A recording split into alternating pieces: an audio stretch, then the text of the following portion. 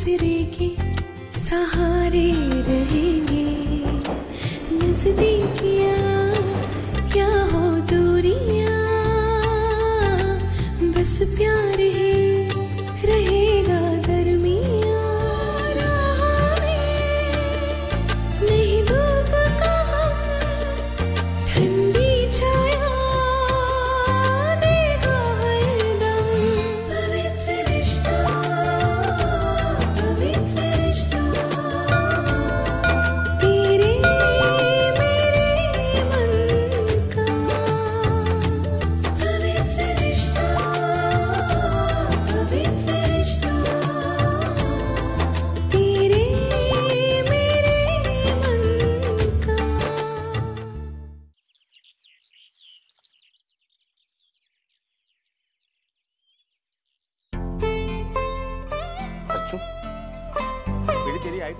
थोड़ी भी चिंता नहीं है। अब क्या हो बाबा? अरे अब क्या हुआ का क्या मतलब? जब से अपने बेटे के घर गई है वहीं की होकर के रह गई है। उसने यहाँ आने का एक बार भी कष्ट नहीं उठाया। बेटी तू अपने आई को फ़ोन लगा और उसे कह दे। उसे कह दे कि मैं उसे बहुत नाराज़ हूँ। और जब तक यहाँ नहीं आती ना तब तक मेरी नाराज़गी दूर नहीं होगी। हंस क्यों रही है क्या हुआ? बाबा आपकी इतनी बेचैनी देख कर ना किसी को नहीं लगेगा कि आपकी शादी को 35 साल हो गए।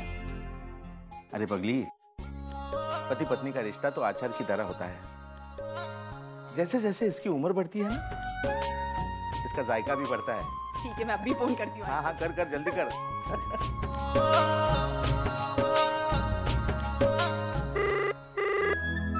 कोणाचा फ़ोन।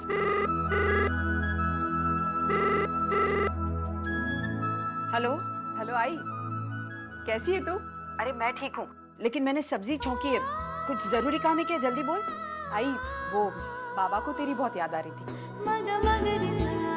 तो अगर तू एक दिन के लिए मिलने आ सकती तो? अरे क्यों नहीं आ सकती हूँ? ज़रूर आऊँगी।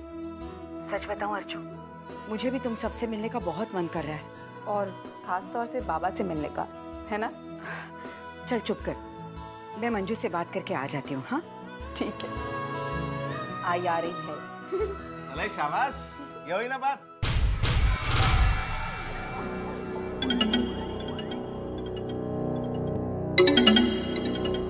मंजू ये घर में बैठ बैठ के मैं बोर हो गई अरे कुछ चेंज ही नहीं लाइफ में। वाह बंधु अपनी मनहूस सूरत लेकर मेरे सामने आती है।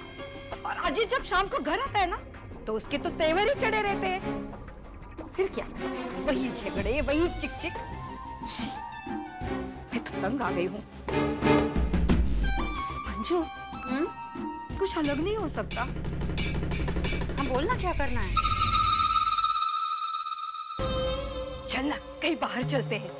फ़िल्म देखेंगे शॉपिंग वॉपिंग करेंगे हाँ?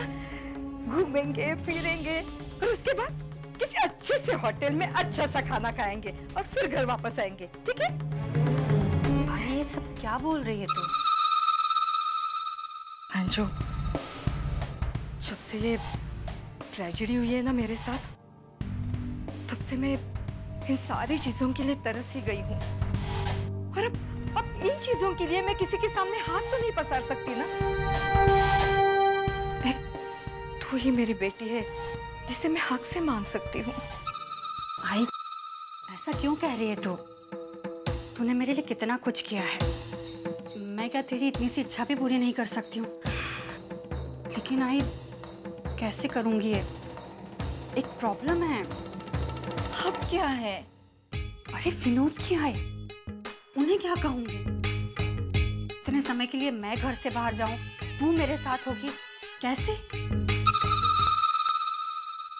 अंजू आइडिया। देखो अब मेरी तो उम्र हो गई है ठीक है? मुझे मुझे कभी भी कुछ भी हो सकता है। भाई क्या बकवास कर रही है? मज़ाक कर रही हूँ मेरा बीपी बढ़ सकता है।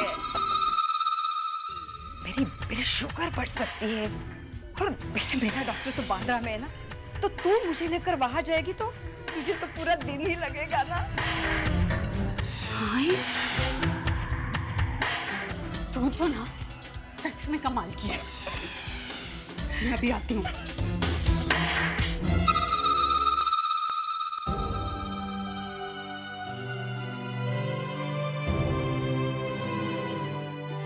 अरे मंजू? मैं अभी तुमसे ही बात करने के लिए आ रही थी। हाँ बोलिए ना। वैसे आज उनका फ़ोन आया था वो घर पे बुला रहे थे। तो मैंने सोचा कि थोड़े से काम निपटा कर वहाँ चली जाऊँ और कल दोपहर तक वापस आ जाती हूँ।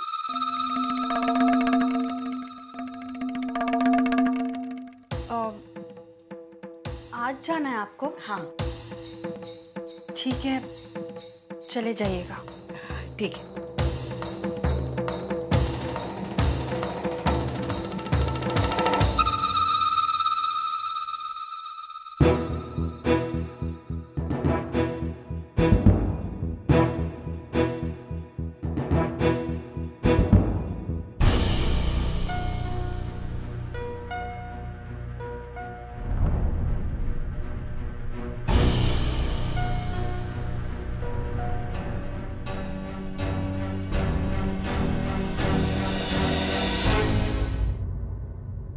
क्या हुआ मंजू? कोई प्रॉब्लम है क्या? नहीं आई। वो एक्चुअली बात ये है कि आप तो मेरी आई की हालत जानती हैं। दो दिनों से वैसे उन्हें इतना टेंशन है। और आज तो उनके शरीर ने भी जवाब दे दिया क्या मतलब? रसिका दी की तबीयत ठीक नहीं है क्या? हाँ वो एक्चुअली ब्लड प्रेशर उनका बहुत हाई हो गया है। आज तो वो ठीक से खड़ी भी नहीं हो पा रही है। तो मैं सोच रही थी उन्हें डॉक्टर के पास दिखा दूँ? हाँ ज़रूर ले जाओ। तबीयत के बारे में लापरवाही बरतना बिल्कुल भी ठीक नहीं है मंजू। लेकिन आई कैसे ले जा पाऊँगी उन्हें? उनका डॉक्टर बैंड्रा में है। वहाँ तक जाते जाते आधा दिन हो जाएगा। वहाँ से लौटते लौटते शाम। अगर आप भी चली गई मैं भी चली गई तो फिर पुन्नी और रुचि वो दोनों खैर छोड़िए मैं आई को परसों ले जाऊँगी। अरे कैसी बातें कर रही हो? मेरा उस घर में जाना ज़्यादा ज़रूरी है या तुम्हारी आई की तबीयत? तुम एक काम करो तुम आज ही रसिका तई को लेकर डॉक्टर के पास चली जाओ। मैं मैं अर्चू को फ़ोन करके बता देती हूँ कि मैं आज नहीं आऊँगी। दो तीन दिन के बाद आती हूँ। Thanks I thank you very much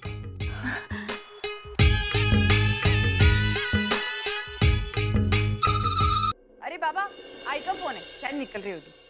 hello आई। बोल। अर्चू मी आज नहीं आऊ शकत। क्यों आई? अब क्या हुआ? अरे वो रसिका तो यहाँ आई है ना? अ, उनके और अजीत के बीच में कुछ अनबन हो गई इसलिए वो यहाँ आई है रहने के लिए। और उनकी अचानक तबीयत खराब हो गई। आज मंजू उन्हें लेकर डॉक्टर के पास जा रही है। अगर मंजू घर पे नहीं रहेगी तो पुण्य और रुचि के लिए मुझे घर पे रहना बहुत ज़रूरी है बेटा। हाँ ठीक है। कोई बात नहीं। लेकिन तुझे जैसे ही टाइम मिले ना तो ज़रूर आना। दे इधर दे फ़ोन मैं बात करूँगा उससे। हेलो हाँ सुलोचना। क्या हुआ? नहीं मेरा मतलब है तुम ठीक तो हो ना? अरे भाई तुम वहाँ आराम आराम कर रही हो या चौबीसों घंटे काम ही कर रही हो? अरे आप क्यों इतनी चिंता कर रहे हैं? मैं यहाँ बिल्कुल ठीक हूँ। अपने बेटे के ही घर आई हूँ। बेटे ने और बहू ने बहुत प्यार से रखा है मुझे। जब उनके प्यार से फुर्सत मिलेगी ना तो मैं आऊँगी वहाँ पर। हाँ हाँ। जब तुम्हारा मन करेगा ना तभी आना। यहाँ कोई तुम्हारा इंतज़ार नहीं कर रहा है। अच्छा लेकिन आपकी आवाज़ तो कुछ और कह रही है। ठीक है ठीक है। सुलोचना अपना ख्याल रखना। और अगर कभी तुम्हारा मन करे ना तो यहाँ आ जाना। हाँ अगर तुम जल्दी आती हो ना तो अर्चू को अच्छा लगेगा। ले बेटी। हाँ देता हूँ बात कर अपने आई से।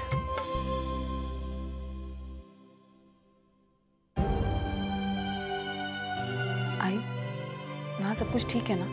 अर्चू तू बिल्कुल अपने बाबा पर गई है? अरे मैं यहाँ बिल्कुल ठीक हूँ। खुश हूँ। और कुछ सुनना है? नहीं नहीं। बस तू अपना ख्याल रखना। और हाँ हो सके तो आ जाना। बाबा को बहुत अच्छा लगेगा ठीक है। जल्दी चले। अच्छा आई अ, मेरे मंदिर के पुजारी से बात हो गई है। कल सुबह टाइम पे पहुँच जाना दस बजे से। बाबा टाइम पे पहुँचते हैं, डर मत तू अपना ख्याल रखना। हाँ, अरे ये कहाँ गए? क्या? देखो मैं गई, इसके लिए शराब बीरा पीना नहीं। आप अगर शराब पियोगे, मुझे उधर पता चल जाएगा। आने के बाद नाक दबाकर, हाथ पाँव दबाकर नीम का शरबत, दिन में चार बार पिलाऊँगी ध्यान में रखना तू भी। हाँ चलो। मानव, अपना ख्याल रखिएगा। आप जानते हैं, मेरा देवी दर्शन जाने की दो वजह है।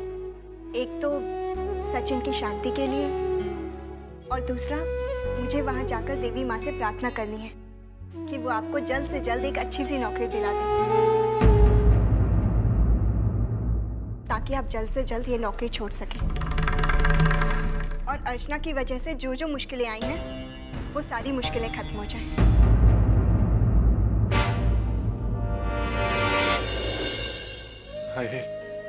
सचिन का ख्याल रखना और अपना भी। अभी चल गाड़ी का टाइम हो गया। चलो चलो। निकलते हैं हाँ? आई ये लीजिए। आपको जो चाहिए वो देखिए। कुछ नहीं अच्छा आ रहा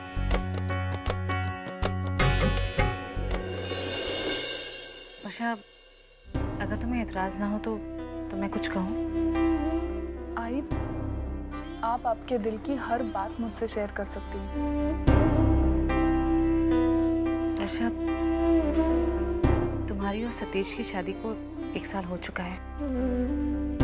अब आगे क्या सोचा है तुम लोगों ने? मेरा मतलब बच्चे के बारे में क्या सोचा है?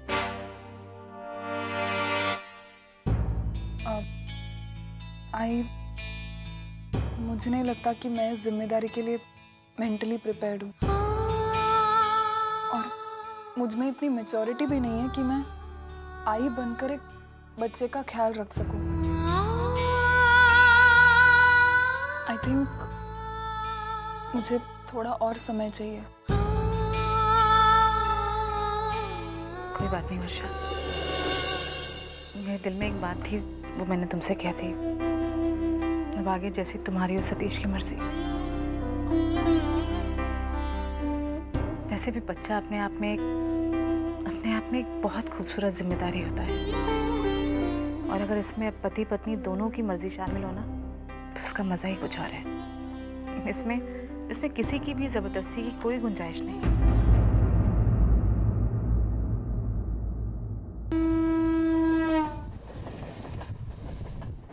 अभी हम दादर उतरेंगे फटाक से और वहाँ से है पंचवटी एक्सप्रेस। हाँ?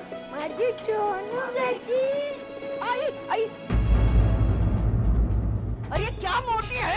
चल उठ। बच्चे नहीं बच्चा है मेरे पास। उठ ना। बड़ी बड़ी आँखें करके बटन लगा। सामने धक्का मार। सामने धक्का मार। आई रहने दे। मेरे बच्चे को डिस्टिंग ये अंग्रेज़ी में गाली मत दे। हाँ? उठ। मेरे पास बहुत है मराठी। मराठी में बोल। अरे भेज दूँगी तेरे गाँव। मुझे चल। सामने धक्का मार।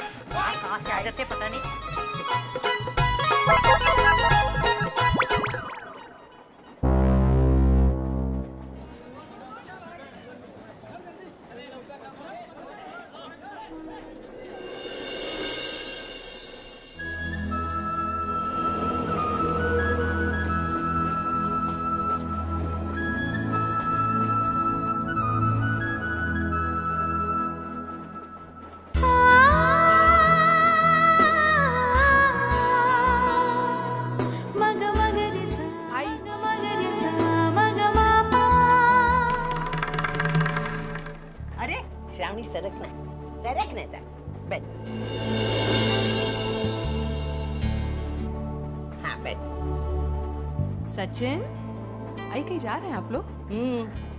नासिक जा रहे हैं। सप्तशृंगी माता का दर्शन के लिए।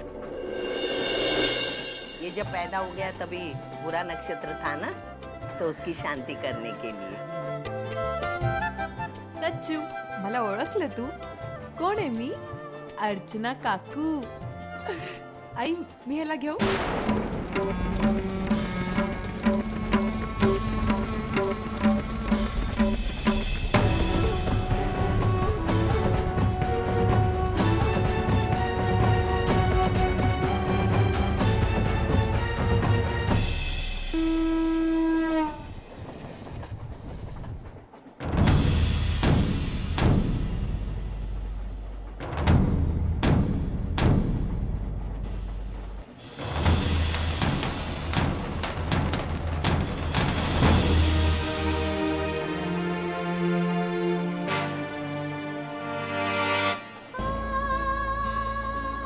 अर्चना से जितना दूर रहें, ये इसके लिए भी अच्छा है और हमारे लिए भी।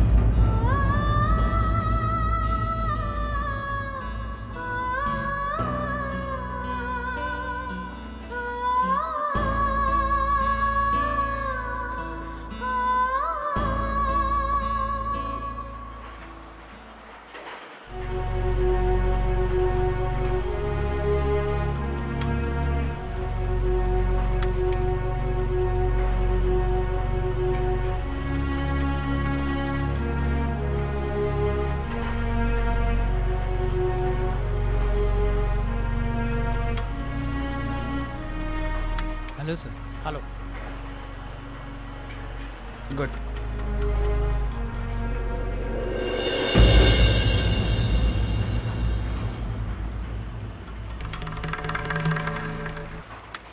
hello sir. कैसे हो? ठीक हो सर। जख्म कैसे हैं तुम्हारे? अभी ठीक है। मानो तुम खुद भी जानते हो मेरे मन में तुम्हारे लिए कितनी इज़्ज़त है। लेकिन पिछले दिनों जो कुछ तुम्हारे हाथों हुआ मैं बहुत अपसेट हूँ उससे। कल जो तुमने किया वो मुझे तो भी बहुत बुरा लगा सर। यकीन मानिए मेरा स्वभाव नहीं है। पहली बार मैंने अपने आप पे काबू खो दिया और किसी को इतना आपको आपको इस बात से जितनी तकलीफ़ हुई है उतनी तकलीफ़ मुझे भी हुई है। लेकिन सर, मैं अपने किए पे पछता नहीं रहा। जी सर। कोई मेरे सामने अर्चना की इस तरह से बेइज्जती करेगा तो मैं बर्दाश्त नहीं करूँगा। और फिर अर्चना ही क्यों? अर्चना की जगह कोई और भी औरत होती है और प्रकाश ने ऐसा कहा होता तो मैं ऐसा ही करता, सर। मानव, मैं तुम्हारे जज्बातों को समझता हूँ। लेकिन देखो, कई बार हमें बहुत सी चीज़ों को अनदेखा करना पड़ता वही हमारे फ़ायदे में होता है। मेरी आई कहती है कि मुझे अपना फ़ायदा देखना नहीं आता। आप शायद दिमाग से सोचते हैं और मैं दिल से। मैं ये नहीं कहता कि आप गलत हैं, लेकिन मैं अपनी सोच नहीं बदल सकता।